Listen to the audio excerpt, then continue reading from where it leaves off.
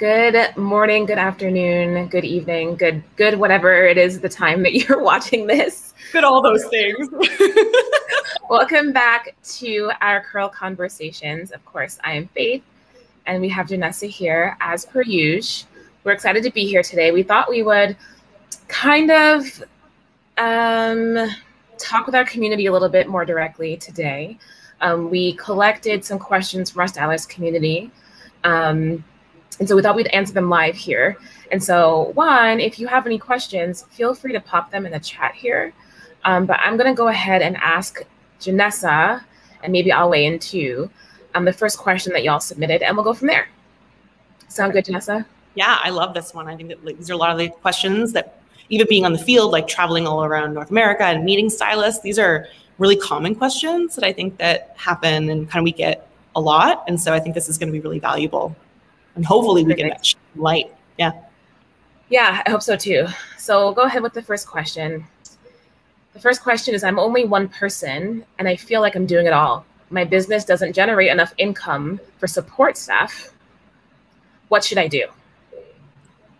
Yeah. Um, that is, I mean, that's the ultimate question, right? Is like, how do I, it's really about how do we make profit? Because it's really easy, especially when you're an individual, I think, that you're overrun. Like you're doing everything, you know, you're doing absolutely everything. And so, how do we find support staff that we can delegate to?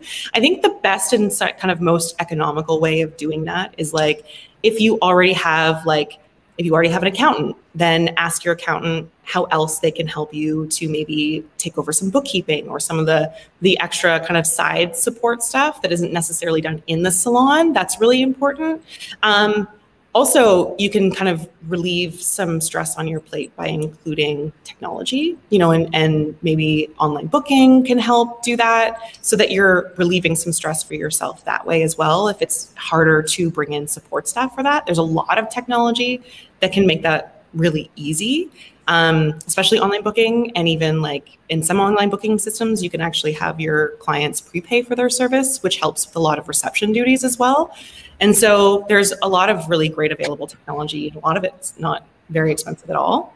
Um, then the other thing, the one that I'm really passionate about, is making sure that all of your time is charged um, accordingly. You know, and merely making sure that your pricing systems aren't just set up to um, bring in money, but to pay for your expenses. Right? To start from how much money do I need to make in order to pay for my expenses and then when you're when you're figuring that out, like add yourself in an expense for a support staff, like add yourself in an expense for an assistant, and then have yourself a goal to work towards. So you can start to raise your prices so that you can start to include that in an expense and set yourself up so that you give yourself some time to be able to bring that help in because it's a lot. There is a lot that we do, a lot that we do.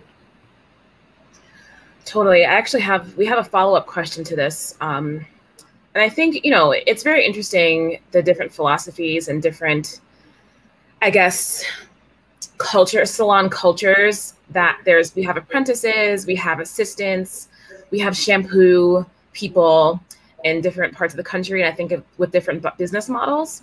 And so, you know, this, this question shares about you know I don't I don't gen- generate enough income for support staff.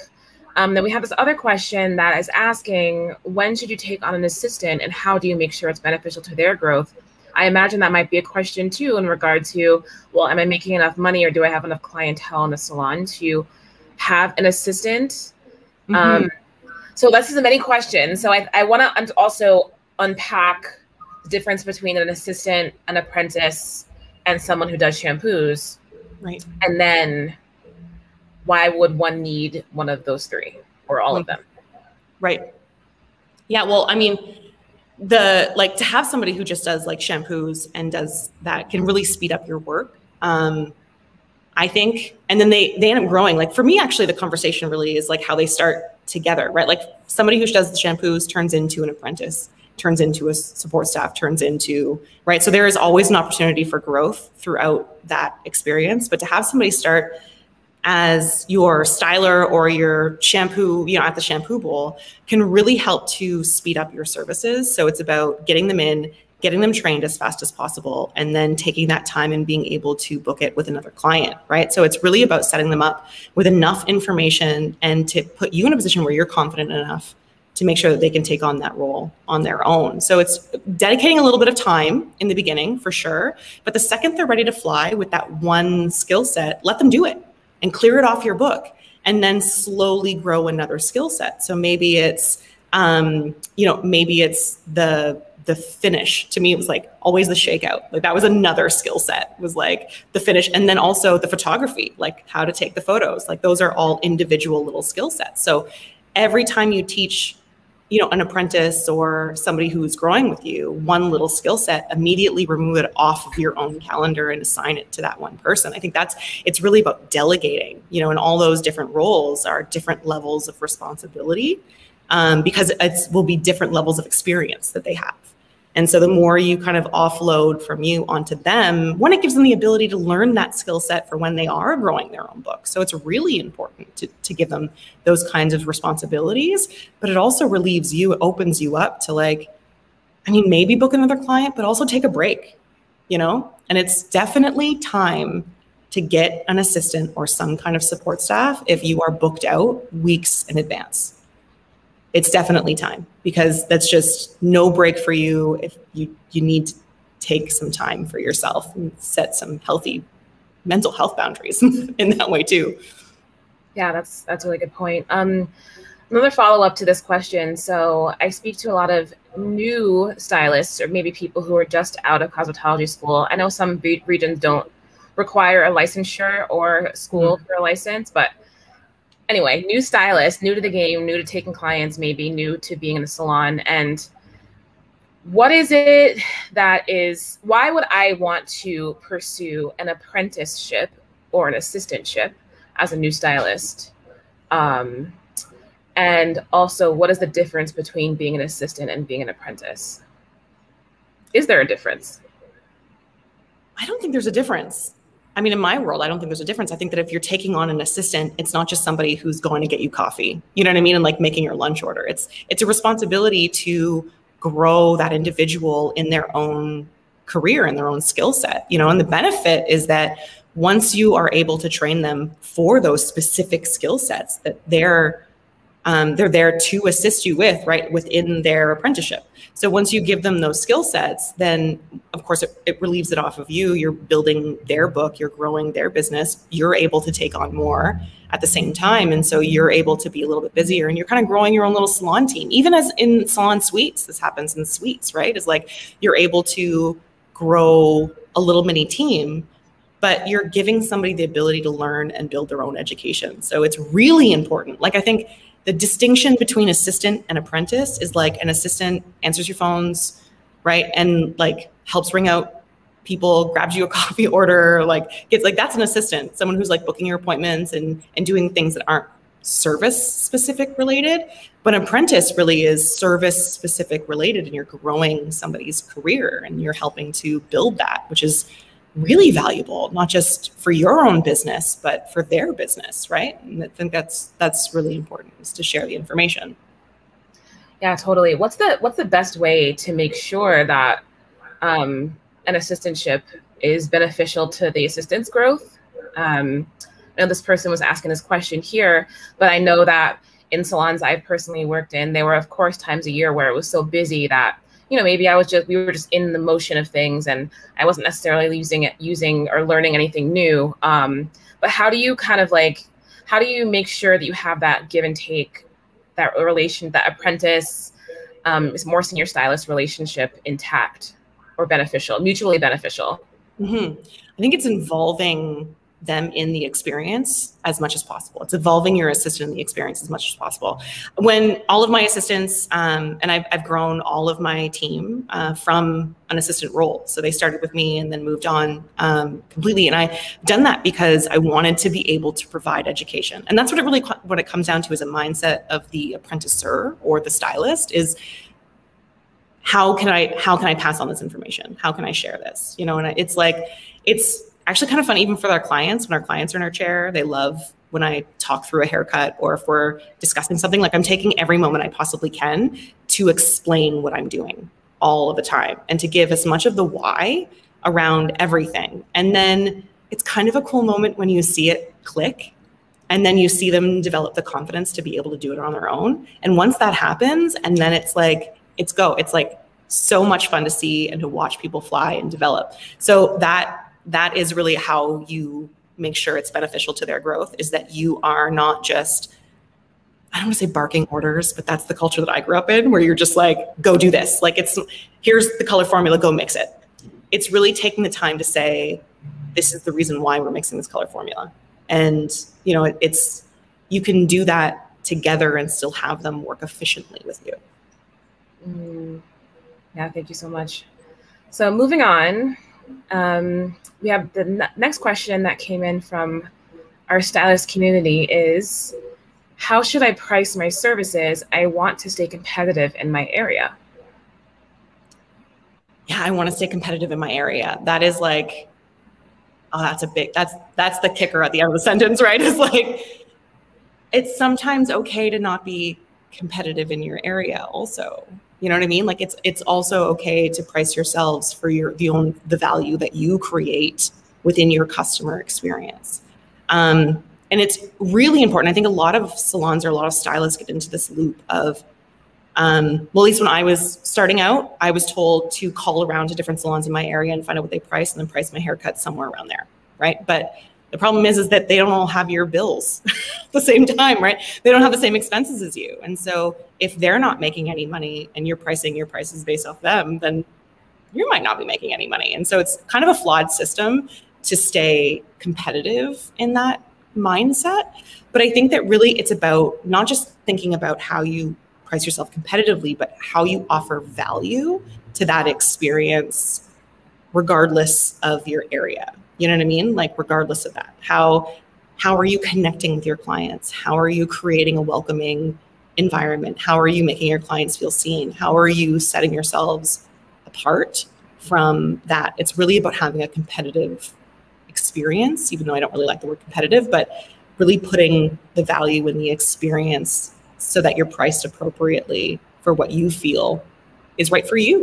And that's what it comes down to, I think, not necessarily competitive to your area. Do you think? Yeah, no, that makes that makes total sense. Um, I think also stylists struggle to have the confidence that they can have a price that is out of the range of their neighbors.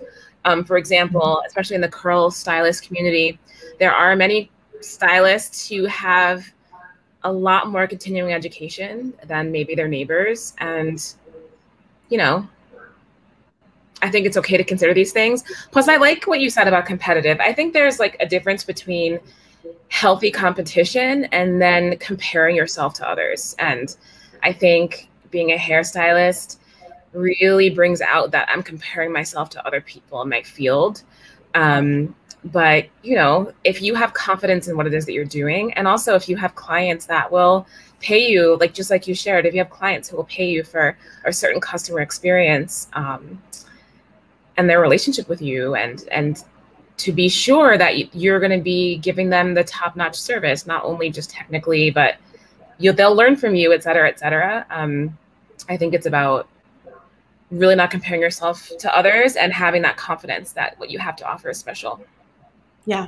This is like tangent time as usual at least one per episode but um, right but like I, I honestly, side note, like I really do think that this conversation causes a lot of emotional response when it comes to stylists. Like anything that talks about pricing causes this really big emotional response. And I think because historically our industry has said things like charge your worth, right? But it's really important to know that your worth has absolutely nothing to do with your service prices. Your worth is your own personal worth.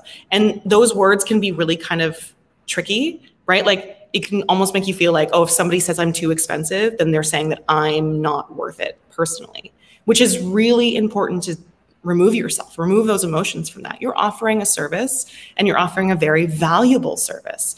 And really think about not necessarily like eliminate the concept of worth and think about the value that you can place within that client for someone else, right? Because our prices are a reflection of our worth they're a reflection of the value that we offer someone else. um, and offer that that person who's deciding to share that experience with us. Because that's really what it comes down to. We're not doing something on someone right? We're experiencing something with someone.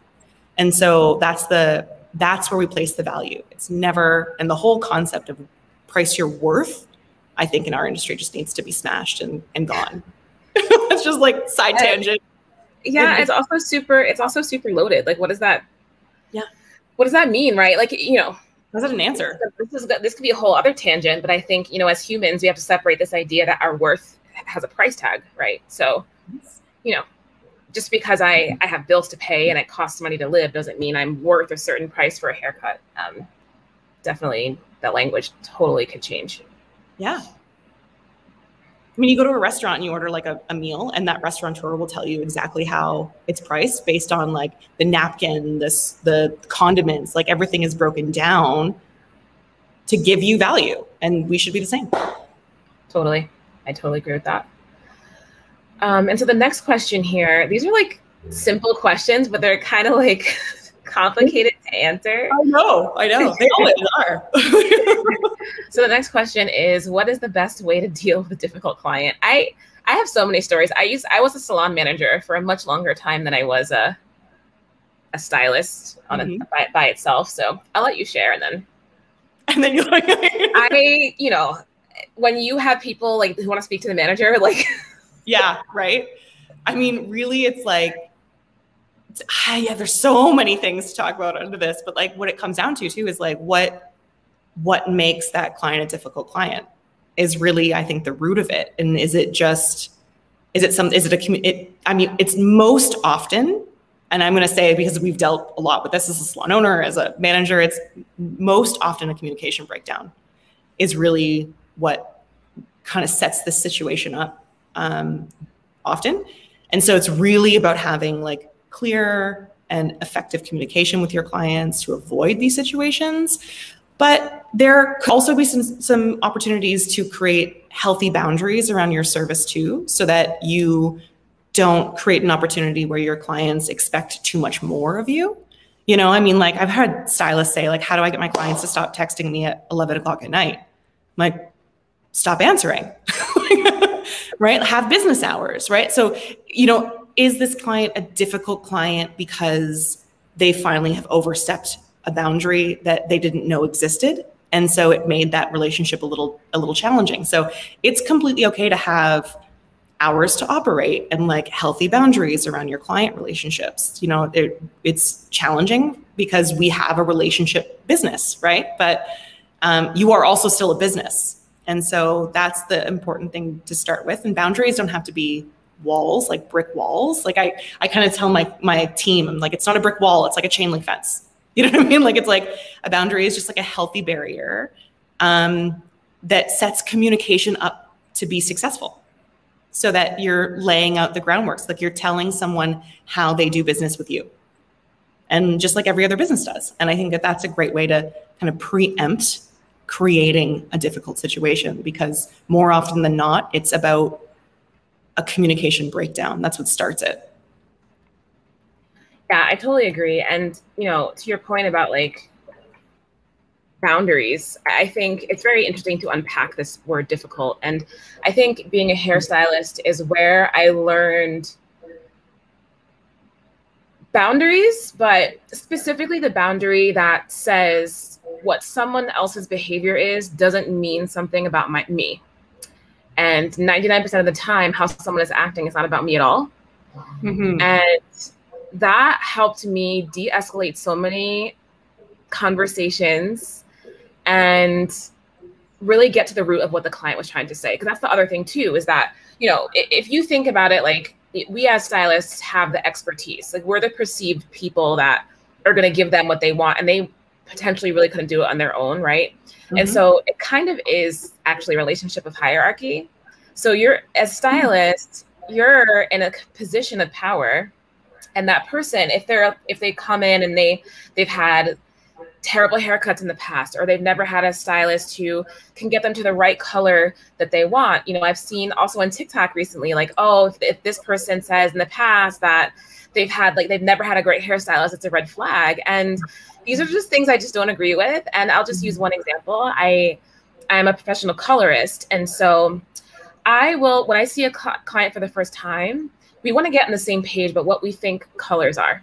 Like, believe it or not, human beings see color differently, and so I also want to understand that if we don't have the same way that we look at color, there's mm-hmm. only so far we can go in our relationship as colorist to client, right? And so I would have um, different Pinterest boards of like cool blonde and warm blonde and neutral blonde and so forth. So like warm brunette, cool brunette, neutral. Like, what is the language? What are we doing here? Mm-hmm. At one time, I had this client, I, I kept giving her what she said that she wanted, but she would always call two days later telling me her color was looking ashy.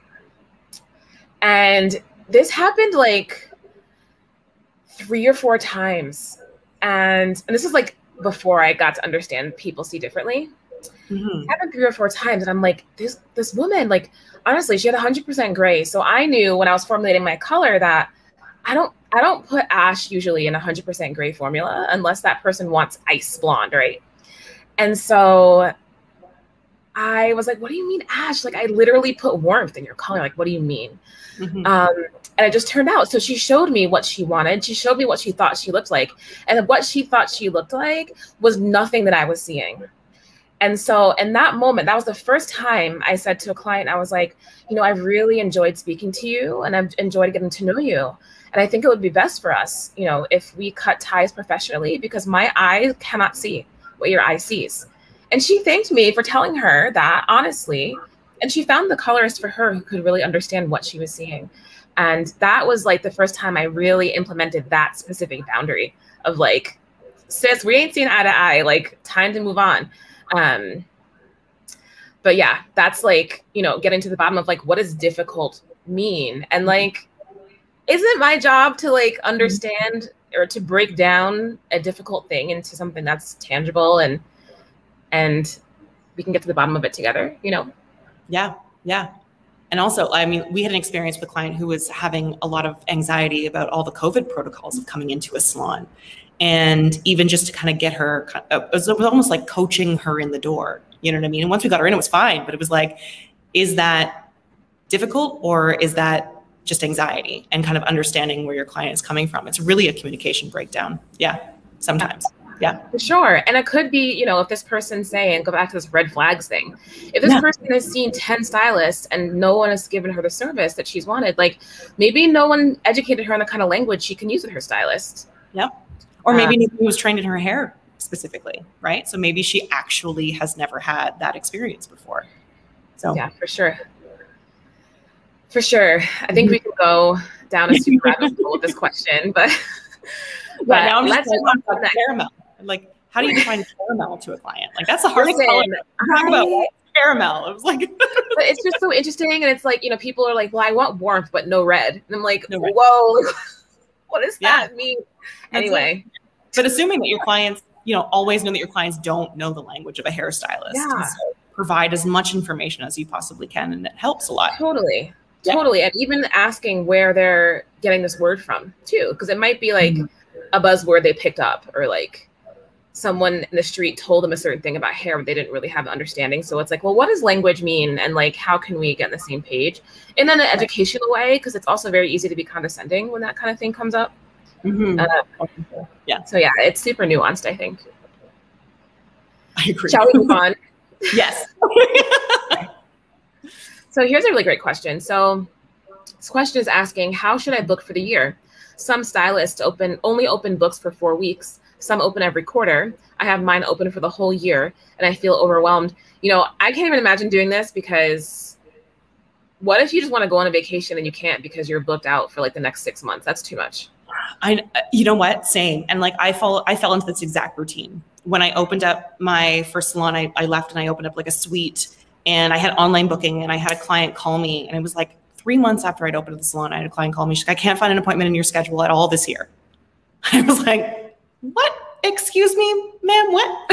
so I went onto my book and realized that I was booked out for the year. And it was like panic because I didn't want to, I didn't want to move people. I didn't want to do anything. And so I had years of like missing missing wedding ceremonies because I was already booked that Saturday and then only going to the reception and missing the whole, you know what I mean? Or missing all these events, family events and vacations and weekend trips. And like, I'm down to only being able to book a trip on a Sunday and Monday and that's it. So it's like, it's a lot. It's a, it's too much and you can definitely get overwhelmed. I think that there's a benefit to, to maybe all of it. it. It really depends on your own I mean, your own ability to handle the situation, like your own, like if you're cool with booking out the whole year and then just calling your clients and being like, I'm taking off for the week and moving them, then do it. That's totally fine.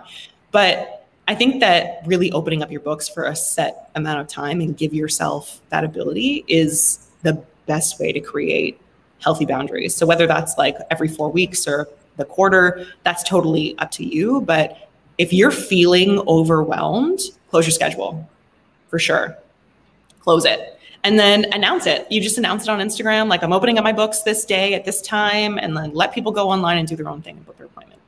And you know, make sure that when you're opening up that time frame, you're taking the time that you need for yourself to recharge too, right? Like it's book your time off ahead of time within that window and know what you need. So whether that's like I said, a quarter or a month out, like I think that that's really important. I know that we're going to be opening up our books only um, one month at a time um, here in the salon. And I think that that's important. The idea of pre booking anymore, like, I don't think we have to be so worried about pre booking appointments because with online booking and everything, your clients are booking your appointments at like, I don't know, midnight when they remember. You know what I mean? Like, no, what not when your salon is open, but when they're they're doing it at their own convenience. So I don't think you have to be so worried about like pre-booking measurements anymore. Um, yeah, yeah, you know what I mean. It's it's not as important as it used to be.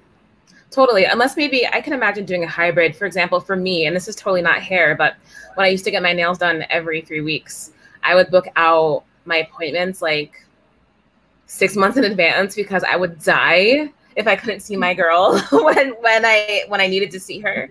Mm-hmm. Um, but she would like shut herself down for the holidays too because people would just take up all her time. I also like I wonder too if it depends on your mindset because I get very stressed out when I see myself booked out for too long so that I just feel like I'm trapped and I can't go anywhere. But that's just mm-hmm. like, and I'm sure there's some people who like need that comfort, like, oh, this is like my schedule, this is what my time looks like, and so forth. Do you think oh, like personality? Yeah. yeah. Oh, yeah. And like, oh, totally personality. And like, you know, looking, being able to look forward in your book and say, this is my guaranteed income for that month mm-hmm. is really is a lot is comforting for a lot of people. So it really it really does depend on your personality. And I know like for me when we're moving over, I'll I'll go back and forth based on my own anxiety. Like that's and that's honestly the truth is like sometimes I totally freak out and I'm like, "Oh my god, nobody's in my schedule." And it's because it's not open. But then I freak out and then I open it up and then I'm like, ah, "There's too many people in my schedule." so I go back and forth, which is not a good place to be. But so it just sounds like typical stylist life, even on a day. Like yeah. I would go into the salon and look at my day and be like, oh, like I have too many gaps. And then all my gaps are filled. I'm like, I have no time.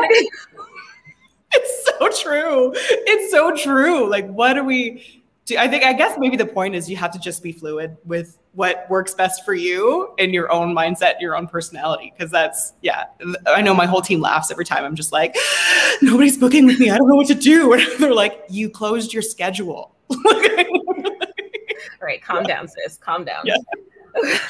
yeah. Yeah. Oh my gosh. So funny. Okay. So we have one more question here.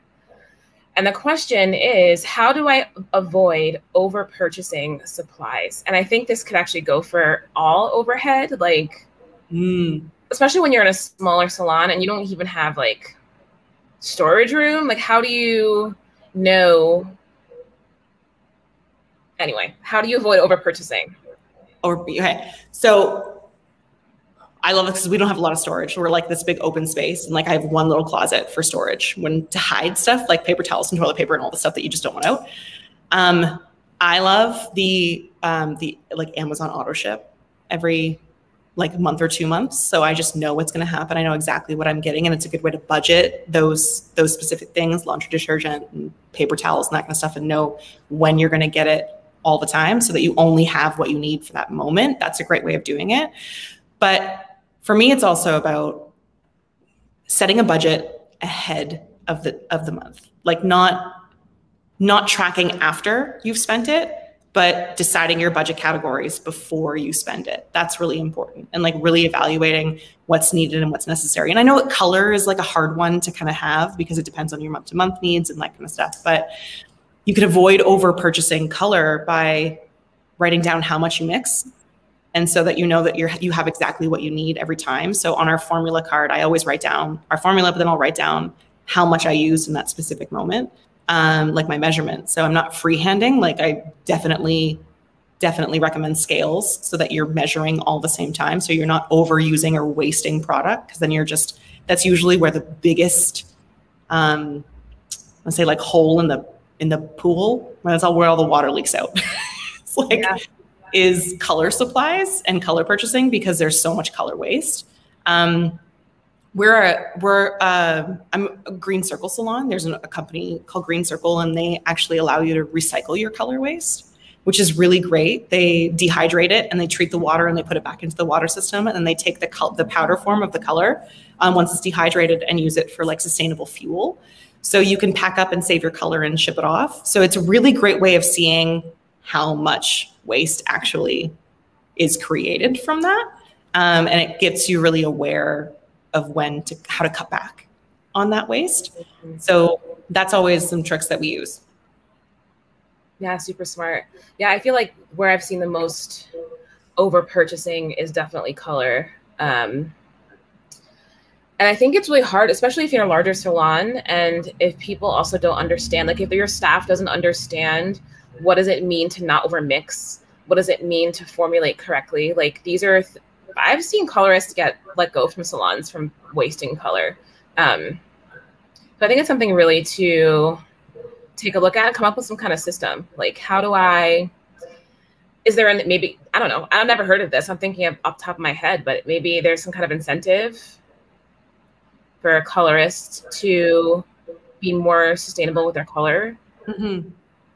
There was actually, I remember a long time ago, where um, there was like a like kind of a business class, and they were talking about doing this kind of challenge almost, right, where you um, had every stylist measure the color they were using, and then measure the waste like when it was done. So come back and remeasure the bowl afterwards, and then track it. And whoever had the least amount of color waste, like won something at the end. So there's like there could be fun ways of tracking that. Just I think it's really about keeping, especially in a salon setting, because that's a whole other conversation, right? Like when you're one on one, if you're in, in if you're in a suite and it's your color waste, I think you're so much more aware of it because it's your money. It's you can see it go. But when it's a salon purchasing it for you, it's harder to track because it's like whatever, right? Yeah.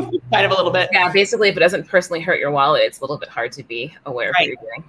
Exactly. So, like as a salon owner, it is like you said the you said the magic word, Faith. It's it's systems. It's really important to find a system that works for you, whether that's remeasuring the waste or that's having your clients write down or your your um, stylist write down how much they need for that. Um, having a system in place that keeps that going that, and having that system be consistent is mm-hmm. really important so that it becomes second nature. It's about consistency always. Yeah yeah I, one thing i'll also say like again maybe this is for larger salons but you know having some sort of salon software that helps you keep an inventory and some kind of simple quick way to keep track of what you're doing mm-hmm. so for example you know if you every time a colorist uses a color tube somehow scanning that color tube out and then you know by the end of the month you can see your color consumption and it better it, it should technically match up with the the clientele you have. So if you have an uptick in color services you'll probably see an uptick in color usage. If you don't mm-hmm. then you can actually look, start looking at your colorists. Um but yeah i i don't like you shared like have a system. Don't try to keep things in notebooks especially this kind of thing. Like technology so technology is our friend. technology is mm-hmm. our friend. So yeah and there's also many different consultants and even stylist friends who are willing to help if you find yourself being tech not so tech savvy um, mm-hmm. but it's worth it. It's like the such a headache if you don't have that. One of my favorite um, tools to use for this also is a company called salon scale. Um, i don't know if you've heard of them but they have bluetooth scales that actually connect to um, like a an iPad or a phone, and it will have all of your color information, and they'll come preloaded. So you tell them what color line you use, and it'll have all your costs on it completely, and it tracks all of your inventory and all of your costs. So even when you're billing out, you're able to separate parts and labor, so you can make sure that the amount of product that you've used for that specific service is included in the billing of the actual service. It's a really great. Um, wow. Yeah, so it's called Salon Scale, but it's a really great company and it's really, really easy to use. That's genius. Definitely never heard of that. But look at that. Technology is definitely our friend. technology is amazing now. years ago. so much easier. Wow. So yeah, that's actually it for our questions for today. Um, I went ahead and put up how you can send, continue to send us questions. You can go ahead and direct message us on Instagram. Our handle is DevaCurl Pro. And we will be coming back on Wednesday with more questions to ask our friend Dom. He's a Kingdom of Curls on Instagram. You probably know him. If not, you should get to know him. But we'll have him on our show Wednesday at 7 p.m. And we'll be asking him some stylist questions as well, more specifically related to um, things like protective styling and such. So get your questions sent in and we'll be excited to hear from y'all. Amazing. Thank you so much, everyone. Bye.